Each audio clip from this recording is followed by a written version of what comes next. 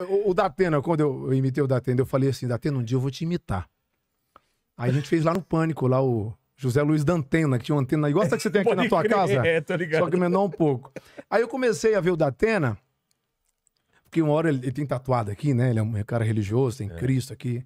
Eu adoro o Datena, adoro, adoro. Pô, ele parece ser uma pessoa muito do. É, mas ele tem essa coisa, eu, eu passei a, a observar isso, a brincar com as câmeras. Por exemplo, Ele fala, ele falava assim, ó.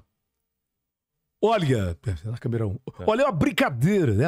Barbaridade. Me ajuda aí, velho. Olha, o bandido, vagabundo, né? Tem que, tem que ir pra cadeia. né? Tem que matar esse vagabundo, esse bandido. O ser desse não merece estar vivo, né? Ou será que eu tô errado aí, né? Aí ele virava pra câmera. Olha, é muito importante ter paz na vida. Porque a pessoa sem fé, a pessoa sem Deus, a pessoa não, não- não consegue, né? É. Aí ele virava pra outra Parecia um câmera. demônio aqui falando Cara, depois um anjinho, Aí eu né? vi essa ciclotimia, essa bipolaridade. Caramba, que maravilha. E aí, pra uma câmera, eu falava muito veemente, né? E pra outra. E pra outra, mas olha, é importante é, é, você ter amor, né? Hoje em dia as famílias estão reunidas é, na hora do, do- do- das refeições, né? O filho pega o prato, vai, vai ver futebol, né? O pai também pega o prato, vai comer na sala, vai- a mãe vai ver novela. Né? né?